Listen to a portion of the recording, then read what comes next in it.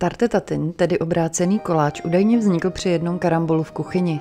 Přepracovaná majitelka hotelu, Stephanie Tatin, chystala tradiční jablečný koláč, jenže na másle s cukrem nechala jablka vařit příliš dlouho. Měla pocit, že je karamel spálený a tak se rozhodla, že jablka překryje těstem a celou pánev vložila do trouby. Jaké bylo překvapení, když hostům obrácený koláč chutnal. V receptu jsem použila ovoce naši, protože jsem ho tu měla spousty. Vy se tím nenechte zmást a upečte si klasický tatin z jablky. Vítejte u nového videoreceptu.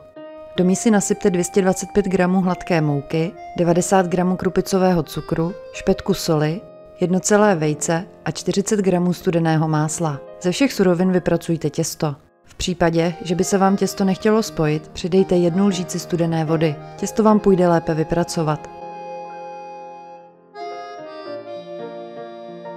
Hotové těsto zabalte do potravinové folie a uložte ho do lednice minimálně na hodinu.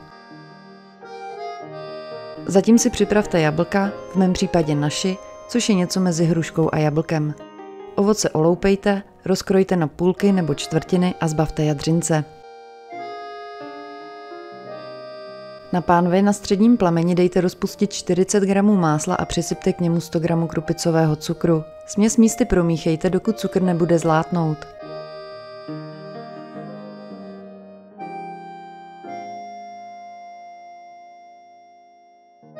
Do hotového karamelu můžete ještě přidat lžičku z kořice. Mně osobně se k jablkům nebo k naši z kořice hodí. Dále do pánve vyskládejte ovoce a povařte ho 10 minut.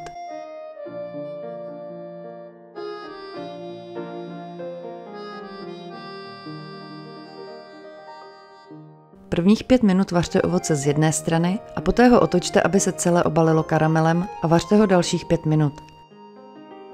Připravte si formu na koláč a vymažte ji máslem. Má forma má průměr 28 cm. Do formy vyskládejte ovoce řeznou stranou nahoru. Snažte se, aby mezery mezi ovocem byly co nejmenší.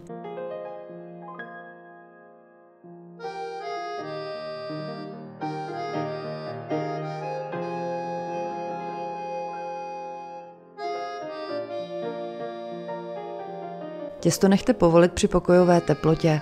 Poté ho rozválejte na pomoučněné ploše tak, aby bylo o 1 cm větší než je průměr formy. Těsto pomocí válečku přeneste na ovoce a okraje zahrníte dolů směrem ke dnu formy.